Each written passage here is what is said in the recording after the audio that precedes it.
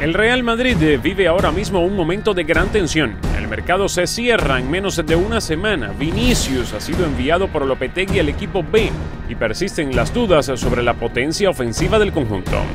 Dinero es lo que sobra tras haberse liberado del salario de Cristiano y de solo haber pagado 40 millones por Courtois. El viernes la UEFA iba a resolver el caso del juego limpio financiero del PSG y si la sanción los obligaba a vender a una estrella, es ahí donde el Madrid podía pescar a Mbappé o a Neymar a precio de ganga.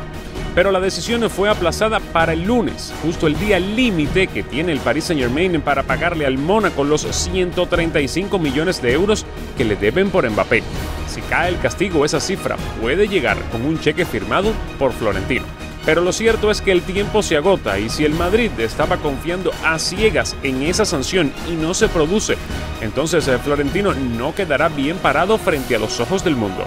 Perdió a Zidane, a Cristiano y no fue capaz de fichar a otro crack para el centro del ataque.